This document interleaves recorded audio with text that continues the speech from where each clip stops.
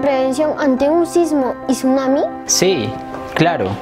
Primero, debes identificar si nuestra casa o escuela se encuentra en zonas de muy alto riesgo. Segundo, debes conocer la señalización que nos indicarán las rutas de evacuación a donde nos dirigimos.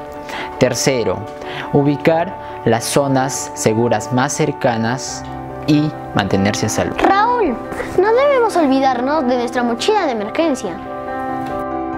Una campaña del programa PREVAED de la Dirección Regional de Educación de Ancash.